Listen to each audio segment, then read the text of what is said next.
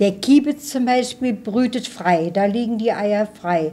Aber der Rotschenkel ist so ein raffinierter kleiner Kerl, der äh, äh, fliegt, also macht in einem Grasbüschel eine Mulde und zieht nachher, wenn er da sitzt und brütet, über sich die Grashalme zusammen und zwirbelt sie zusammen.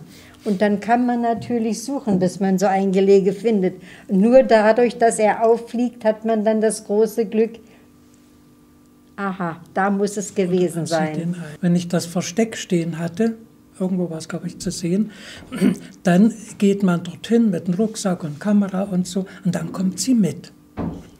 Bis ganz nah ans Versteck ran, ich gehe rein und sie geht zurück. Die Vögel können nicht so genau zählen.